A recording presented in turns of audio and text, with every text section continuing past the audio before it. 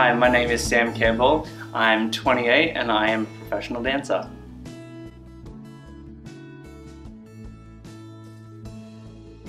I'm from the Gold Coast, Australia and trained at the Australian Dance Performance Institute in Brisbane. I've been dancing for about 17 years and 10 professionally.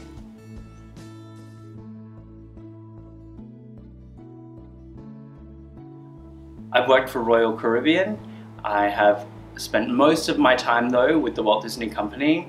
I started at Tokyo Disneyland Resort and have spent most of my time um, on Disney Cruise Line doing shows like Aladdin the Musical, Tangled the Musical, Frozen the Musical, all the musicals.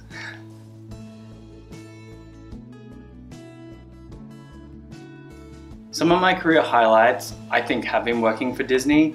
Uh, you know, when you're dancing behind uh, Mickey and Minnie, uh, it's they're two of the most like recognizable characters in the whole entire world. Um, that and getting to like do fun roles like Prince Charming, Captain Hook, um, Frollo, Captain Jack Sparrow. So many like fun roles like that um, have definitely been some of the highlights.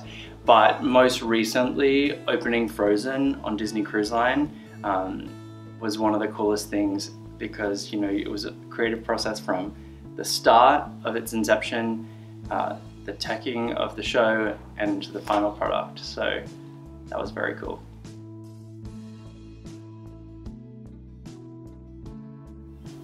One of the best things about being a performer, I think, is the ability to not only be able to express and get joy from the art itself, it kind of comes through you and then you're able to give that back.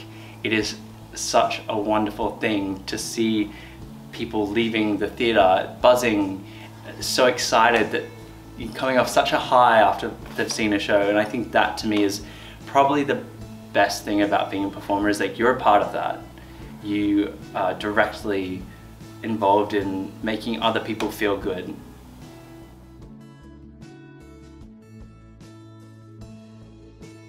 COVID and I have had a tricky relationship with mental health. Some days I'm really good, some days I'm really bad, but there has been definitely a silver lining to it all.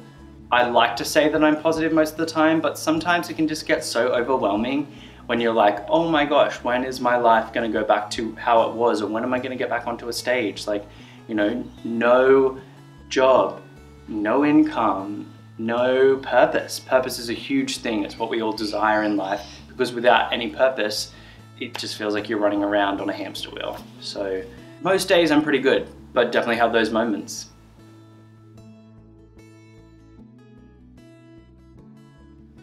To cope during this time, I have reconnected with the community around me.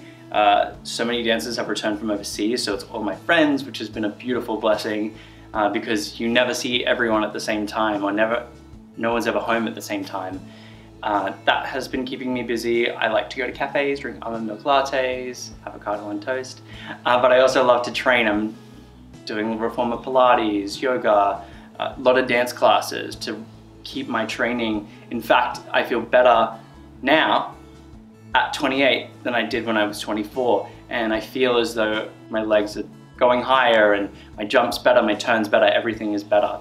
Um, so that has been really good to sort of refocus. So that's been keeping me pretty busy.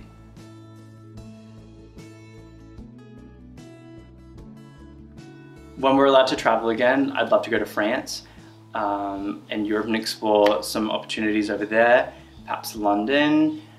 Uh, I'd love to go back and do some work with Disney. I'd love to potentially work in Japan. Uh, the world is literally my oyster.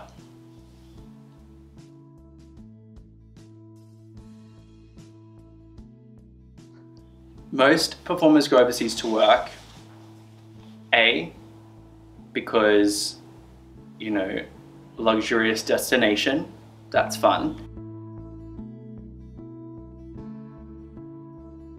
But B, primarily, and foremost, I think the biggest issue is there is no work here in Australia.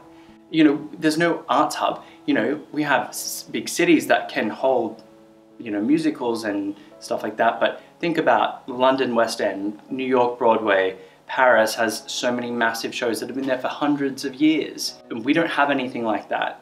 And it's such a shame because the appreciation for arts has really dwindled.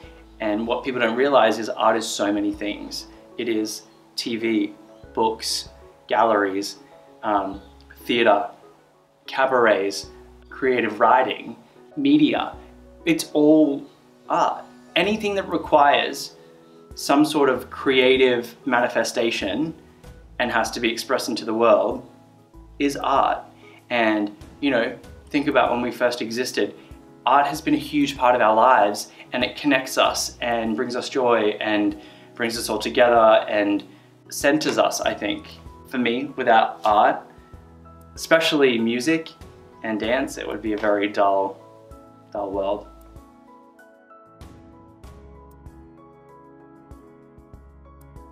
We're coming back. We're not going anywhere. There's too many of us with too much creative power and energy that we can't just go nowhere. It won't happen. And uh, by supporting each other, I think that's going to be the most important thing. So when something does happen, a show pops up, go and see it, go get a ticket. You know, support each other, support the industry, because um, it will make a huge difference and what you give is what you get. So, yeah.